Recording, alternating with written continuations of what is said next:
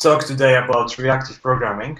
Uh, this is a topic which I was researching quite a while, and it's it's very interesting, and I'm super happy that it's finally like properly coming to JavaScript. Um, so I would like to talk to you about this new framework or, called Cycle.js. But first, let's talk what does React reactive even mean? And this is actually a difficult question to answer. There is a lot of things which reactive actually covers. But I would like to answer a different question first. What is UI? So you probably think it's a pretty simple question, but it's a little bit more complex. So let's start from, from the beginning. So let's say that we have an UI, and it's it's pretty simple. You can like, for example, um, click something, you can use some data and display it. So whenever you have a data which you want to display, you have some, some sort of an input, right? And then whenever you interact with, uh, with your UI by like clicking, you are getting some kind of output. So for example, you can have a pop-up window which will show. So um, after some thinking, you know, there is a there is a thing in a programming which has input and output, and it's a function. So can we say that UI is a function? I would say that it is, because it takes some inputs and then displays something based on it, giving us some, some outputs. But it's not all, because this like simple function will not be interactive. So you know, whenever you click something, there should be some kind of action, right? So what it is in programming or in JavaScript. Um, so, you know, those are events, and um, and by doing so, by working with those events, um, we can model the, this interactivity. But it's not all because we got all sorts of different things like data from the server or something like mouse position. So let's take this this image. So I Google it, and this is three hours of um, stay or on staying on Reddit. This is how it looks like when you monitor your mouse position and clicks. So are those events? You know, they are events, but we can call it a little bit different. So let's call them streams, right? So yeah, so what are streams? Have a look. So we got a website here, and there's a user who is like right me, like me right now, scrolling or clicking or interacting with our website. So this generates some kinds of events which are on one timeline, so it, it's very easy then to say that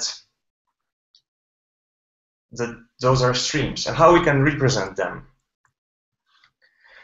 We can use observer, observables, which are a concept, um, which are created for for describing those streams and how it works exactly. So first of all, let's see that let's say that we have uh, events on a timeline, which are happening at certain times. And we can treat them like arrays. So, for example, having an observable, we can we can take some one stream of some values, and we can use just like in arrays a map function to, for example, multiply by 10. So then we have a different stream with outputs like 20, 40, and 60. But it's not all, because we can do all sorts of things with those streams. So first of all, I'll show you my favorite example, which is how to model double clicks or actually multiple clicks. So first of all, let's imagine that we have a stream with those like click events happening, right? And let's say that we are taking 250 millisecond window to let, try to group them. So right now we have uh, like a groups of events happening, and they they have some sort of length. So, for example, here, as you can see, there will be one event. Here will be a group of two, one and three. So right now, what we can do, we can map those events and get the length of them, which is displayed as length stream. And then we can filter by those which are more than two. So this will give us streams of multiple, multiple clicks. And it happens that we can use this in a very interesting way. And we can use this for all sorts of different events. So I would like to show you some visualization of this, which I found. And it's here. And how it works. So for example, as you can see, um, we have this event stream, and whenever I click some button, there is a like a key code on a stream, and it's happening on a, during this time. And there is another stream which is taking this key presses stream, and then um, like transfer changing it to a to a, a corresponding char. And we can do other things like, for example, mouse events. So whenever it's clicked and whenever mouse is down and things like this. So this is how Stream works, and they are very helpful, but it's not all. Mm, let's talk right now how we can represent this in code. So let's say that we have a function. Let's say that this function is a computer, like I said, the UI is a function. And we get user events. And let's say that we want to do something after user clicks enter. Of course, it's a simplified example, but this is exactly showing you what I'm trying to say. So we take this event, take a corresponding value, then filter the stream for just to, just to search for enter, and then we can transform it to screen pixels and display something different. So this is a principle we'll use in this um, we'll use in this reactive programming thing. Um, and you know, all of those things with those streams means one super important thing which other system before weren't taking into account. It says that UIs are async from from the beginning, from the ground. So, you know, whenever you click something, you can take data from a server, and this will happen in the future, not right now. So this makes us a second very important insight that UIs are not only a function, but they are async. And this would be probably all about UIs, but after some reading and after reading how CycleJS works, I found another thing. But let me tell you a different story first. So you know, before I was doing web development, I started as a I started doing robotics. And you know, I, I always wanted to make some cool robots. I wanted to make some kind of drones or maybe I don't know, you know, like things like that. And I started going to the lectures, and they showed me something like this. And it was a closed loop system uh, or a feedback system. And, you know, it was like all complex. Like, the beginning is pretty simple. You got some kind of controllers, then you get a feedback, you know, signals coming from input, then things going to output, you know, but it was more and more complicated and more maths and rules. And, you know, I wanted to make robots, right? So I don't need this, right? You know, I started applying all my knowledge from programming, doing for loops, if statement, and things like this. And what happened? Something like this. Yeah, you know, it wasn't what I wanted to do. So it made me think that it's there might be there must be something else. So something which we can apply from this robotics examples to our UI example.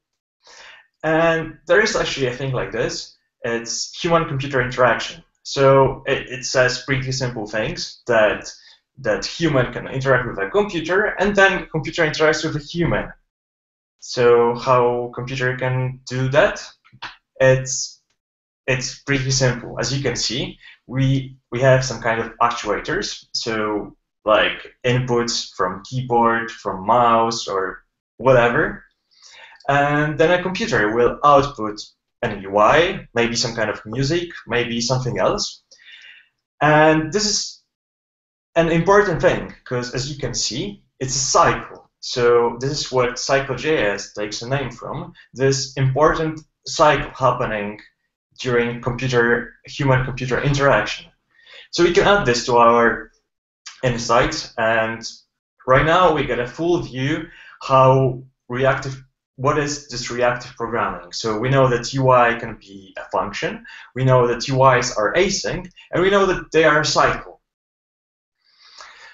But we are not sure how to represent cycle yet. So let's talk about this first.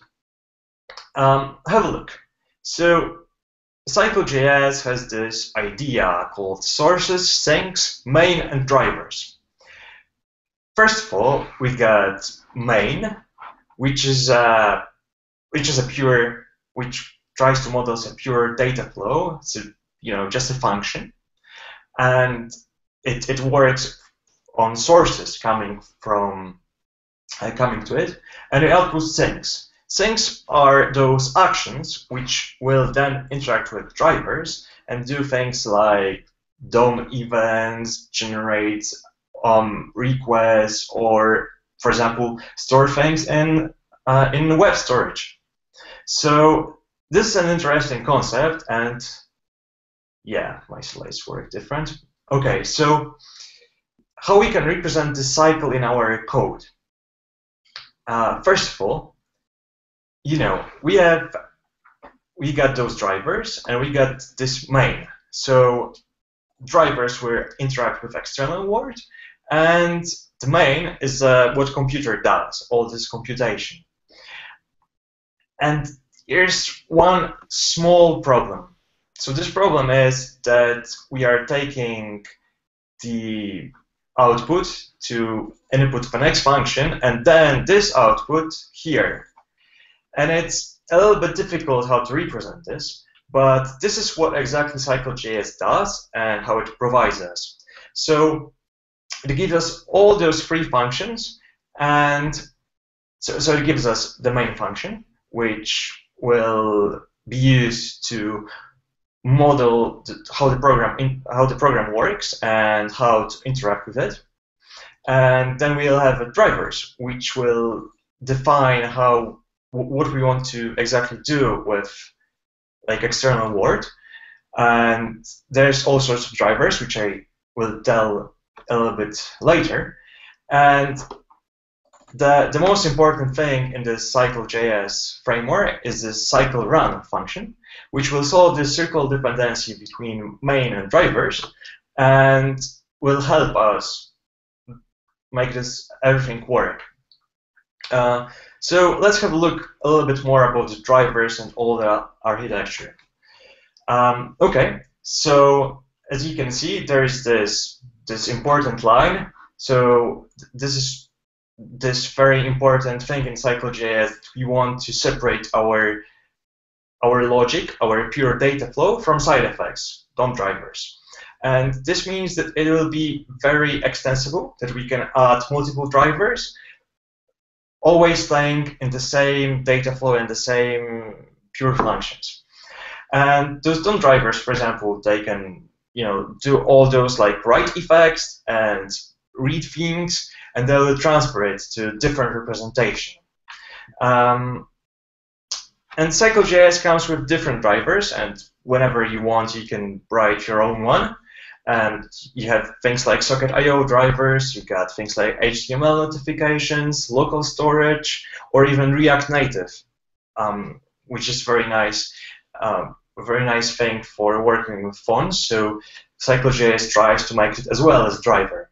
And there's many, many more, which you know you can find them on the website, or you can uh, try to write your own. Yeah. So we know about all those things. So maybe let's it's it's time to build something and see how it works. Okay. let's build something super simple. Let's let's build a clicky box. So whenever you click, it should change to on, and when you like toggle it, it should be off. Let's see how it how we can make it work. So CycleJS uses this thing called HyperScript, which is um, very similar to JSX. It just it's just uh, virtual DOM, but very lightweight. Um, it can work with JSX, but let's see how HyperScript works first.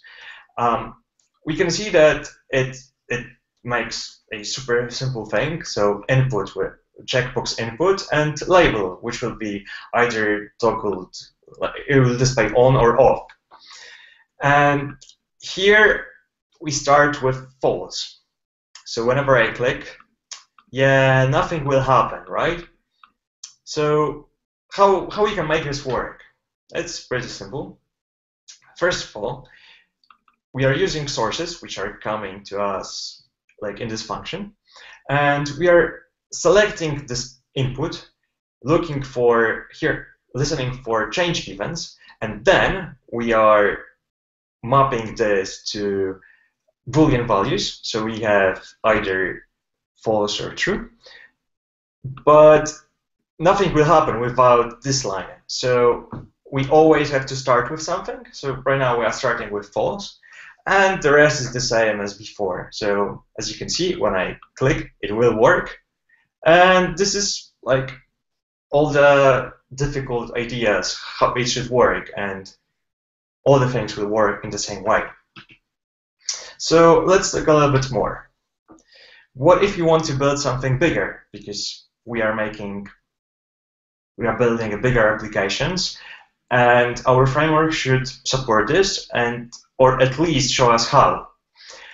And CycleJS supports this with very, very interesting idea. So it tries to make all the components composable. So whenever we have one component, we can compose it with different components, and it's it, it, it will work like this. And I have this one example how to make a component, a clicky box component, which we show, which we saw before. So how we can do that? So first of all, we got this function, which will be this component, because as I told you, everything in CycleJS will be a pure function. And the sources are coming inside this component with two things. First of all, it's this it's it's a DOM, so we can use it to listen for events and other things like this. And also props, which will come to the component as things how, how we want to how we want to render our component in the beginning. So as you can see in this line, we will make take those props and take initial. So it's only because we have to be sure that it's always the first and there's no other values. And then we need to, so, so we got props, so our initial values, and then we want to you know, make this component interactive, so there will be a new values. And this, this dollar thing means that this is just convention. So in, in CycleJS, everything is a stream. So the same, we got new values stream. So the same you've seen before, we we are selecting and selecting an input, then listening for change events and making new values from uh, from this string then what we want to do is use a concat operator so we can have like those props stream and new values stream. We can concat them. So right now it will just it will model the value of uh, of this component. And the next thing is how we want to display it.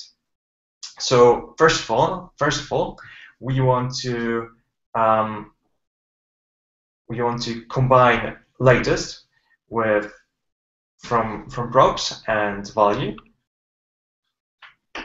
So we want to take we can take things like uh, for example label name or something something which will not change because of value It would just be the information. And right now you can see we can we have uh, the component which will display things. So as you can see here, um, this is a value of a component. So is it toggled or not? And props on and props off, this will be text which will be displayed. So yeah. So right now, as you can see, this is a, a component which which can live on its own and we can attach it with different components so make multiple clicky boxes and see and display them. Um, but clicky box should always return something. So first of all it should return a return this view. So how it will this will be passed to the driver and how the whole application will look like. And of course the value of that component if you want to use it somewhere else Okay, so i want to show you something more interactive than just you know lines of code. Maybe this will be something which really understand a little bit better. Um, so I have it here. Okay, so there's a simple program, uh, a simple counter with two buttons. We have a decrement and increment button. So what happens when we click increment? So we click it, right? So there's an event. Then event is transferred to plus one. Then we are merging those things. We want to scan, so like um, so add old values and new values, the same as reduce. And with having this, we want to display a new view. So whenever I click, click things, you can see that those are happening uh, at certain time. So this is what we want to model, this asynchronity. Uh, asynchronity. And as you can see, whenever this pops, the new values will be displayed and rendered. Okay, pretty simple, right? Uh, we can have a look how the how it's how it's done. So this this thing shows the whole application written in Cycle.js. Um, so you know the same you've, you've seen. Let's select a decrement button, then make minus one event, then from increment plus one events. Um, then you want to merge those decrement and increment. So we have uh, one stream of values, pluses and minuses. We start with zero, then we reduce to have a, you know, the old values and new values uh, as a sum, and then we can display our view. So it's it's actually pretty simple, and it's all you have to know to start working in Cycle.js. Um, but, but there's a little bit more, and actually maybe I'll return back to our example. So as you can see, we got those three boxes. We got an intent box, model box, and view box. So, you know, this is something which I want to talk a little bit more because Cycle.js comes with this idea, this um, this pattern, the same as you know Flux was a pattern for React. It's a model view intent, intent architecture and how it works. So yeah, you remember we always start with the user, which is very important for Cycle.js like way of thinking, and we got intent, which is what user wanted to do. So, you know, keyboard clicks, mouse moves, mouse clicks, and all the stuff. And this will output an observable, which will then go to model. Model says what will happen with those values. So the same as you've seen, right? So how we can combine those decrement and increment uh, increment uh, actions, so plus one, minus one, and so on, and how this will go to one value or multiple values, and th then this will go to view, which will display DOM elements or maybe do something else like local storage and stuff. So yeah, as you can see, pretty simple, and this is the idea behind. Okay, um, so maybe let's try to apply our model view intent architecture to Clickybox, how this will work. Okay, pretty simple. we are creating a intent function, a model function, and a view function. So intent will take DOM and give us how things change. Then model will take this change and props and will generate one value or like multiple values. And the view will take those and generate the view. Okay, so how intent function will work? You know it, right? So select input, listen for change events, so on. Then how model will work? As you can see, it's a pure function. So it take, takes initial props and then concatenates props and values. And how view works? So view will be, oh, I think I lost the function. So it does all the all the display thing. Okay, so yeah, I guess we don't have any questions, or do we? Probably not. So that's all. Thanks, guys, for listening. I think it's it's all I wanted to say about CycleJS, and I really would like you to have a look, try, and at least try to think how you can use reactive programming and how you can start thinking in this way because I think it's it's it's the future. I think we'll do more and more things like this. I I guess that this is why we had React in JavaScript world, why this going in this way. I would say this is the right choice, and it's it's nice to see a new framework which tries to show those things. I don't know if CycleJS will be a go-to framework or will be popular. Probably not, but I, it, it's it's at least interesting to have a look and see how it works. So yeah, that's all probably. Thanks a lot. I, I've got a question.